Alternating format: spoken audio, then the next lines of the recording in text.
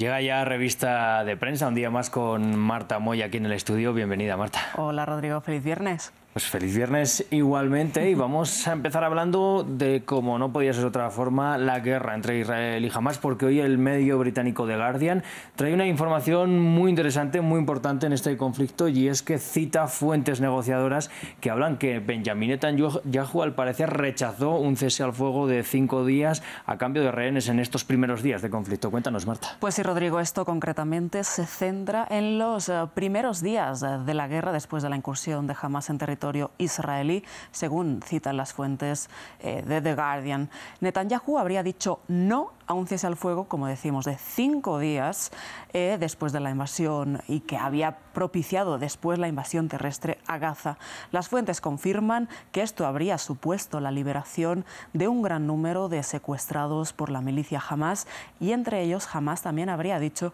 que iba a liberar a decenas de eh, ciudadanos extranjeros retenidos en la franja de Gaza, así como a niños, mujeres, ancianos y enfermos. The Guardian dice que desde la oficina de Netanyahu no se han hecho declaraciones desmintiendo esta información y tampoco se conocen si las familias de los rehenes han empezado a presionar más a Benjamin Netanyahu, pero sí sabemos que en las últimas jornadas, en las últimas semanas, la presión contra el primer ministro ha ido increciendo para la liberación de los rehenes. También nos dice este artículo de The Guardian que las negociaciones se retomaron el pasado 27 de octubre después de la invasión terrestre en la franja de Gaza, que Israel exigió a Hamas una lista detallada con los nombres de los rehenes y que Hamas dijo que no le podía dar una lista con los nombres detallados sin un cese al fuego porque los rehenes están en diferentes localizaciones. Eso dice este artículo de The Guardian.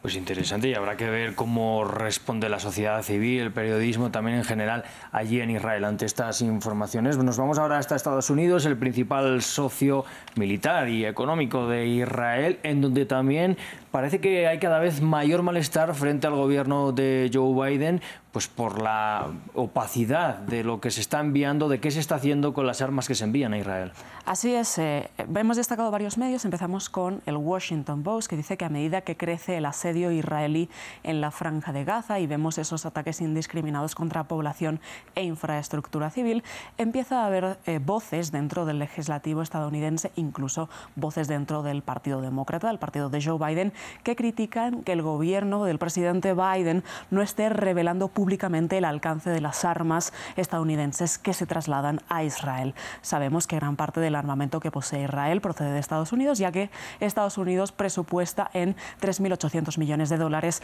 el presupuesto en defensa a Israel de manera anual. Concretamente, lo que se está criticando a la administración Biden es que esté presionando al Pentágono para que éste eluda los requisitos de notificación al Congreso sobre el envío de armas a Tel Aviv, un protocolo que se aplica a todos los países que reciben asistencia militar estadounidense. También hay críticas acerca de la nula transparencia para con Israel respecto a los informes detallados que ofrecen sobre la ayuda militar a Ucrania, donde sí detallan eh, ciertamente toda la asistencia que envían a Ucrania y no están haciendo lo propio con Israel. En la misma línea se manifiesta este viernes The Intercept que dice que mientras la administración Biden publicó una lista detallada de tres páginas con todo el armamento que envió al ejército de Kiev,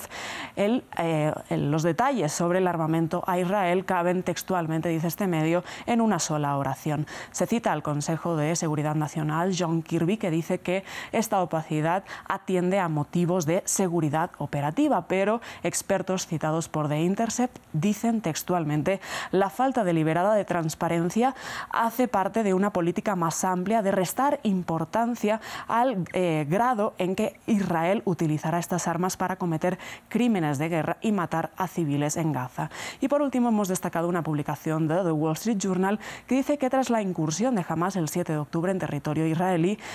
Tel Aviv se apresuró, tanto por parte del gobierno como del ejército, como incluso de la población civil, a demandar aviones no, tripulados, es decir, drones, a proveedores estadounidenses. Y que desde entonces han llegado miles de estos eh, drones, tanto de empresas estadounidenses como de eh,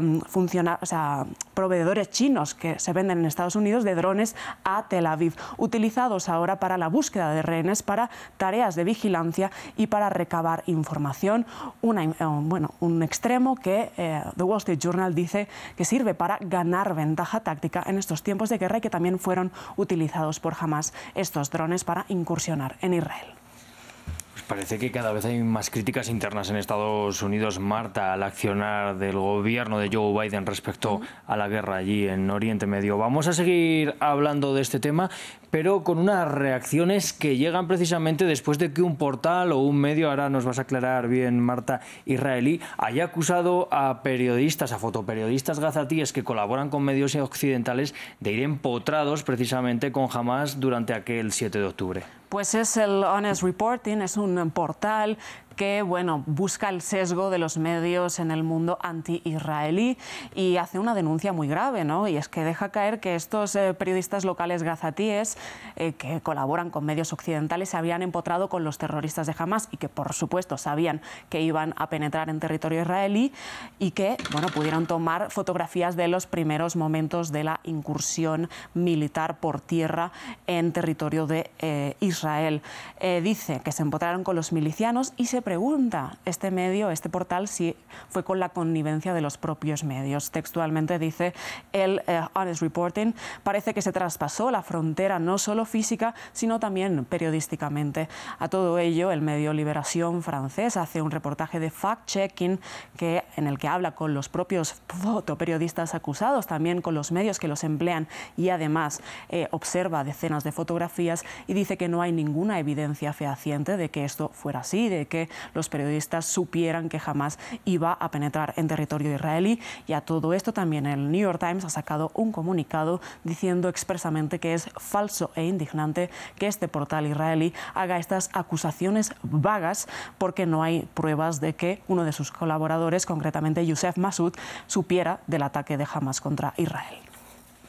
Marta, pues con este tema ya vamos a cerrar la revista de prensa. Por